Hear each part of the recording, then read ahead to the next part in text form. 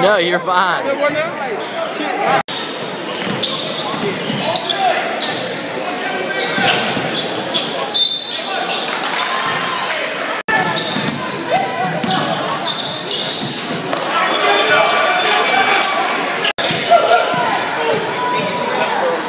I never understood that.